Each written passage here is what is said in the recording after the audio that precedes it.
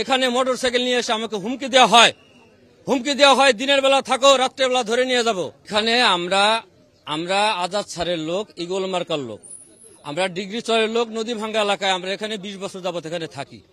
এখানে যার যার ব্যক্তিগত ব্যাপার, কেউ নৌকা করতে পারে, কেউ ইগল মার্কা করতে পারে।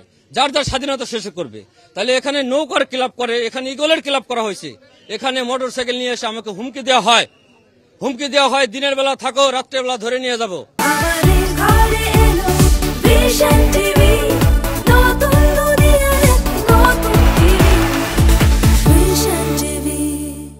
এটা কোন ধরনের কোন দেশে বাস করি আমরা?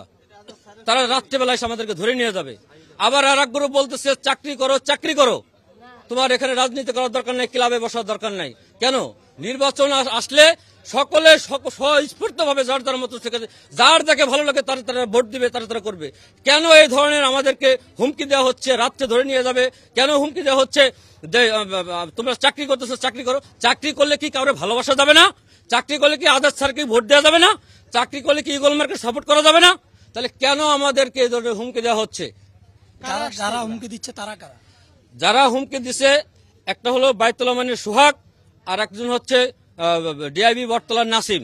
নাসিম আমার চাচাতো ভাইয়ের কাছে বলছে যে, সেন্টুকে বাড়াবাড়ি করতে মানা করো, ক্লাবে বসতে মানা করো, ও যদি ক্লাবে বসে, তাহলে কিন্তু ভালো হবে না, ওকে বলে দাও, ও চাকরি করতেছে, চাকরি করুক, ও যেন ইগলের ক্লাবে না বসে। ওরা হলো স্বামী হকের সমর্থক। ক্লাবটা খুলতে বাধা দিচ্ছে। এবং এখানে বলতেছে যে ইগলের কোনো, তোমরা পার্টি করতে পারবে না। তোমরা চাকরি করো, তোমরা চাকরি করো। তারা এই ধরনের হুমকি দামকে দিয়ে যাচ্ছে এখানে।